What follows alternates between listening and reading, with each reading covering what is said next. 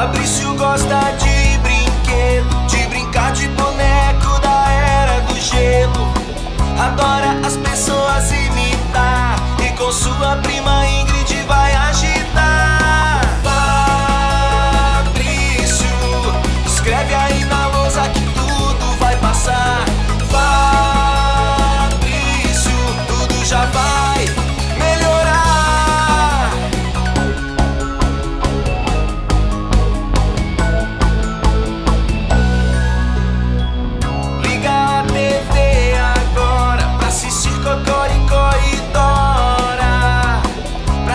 você vou escrever no papel que você gosta de pizza e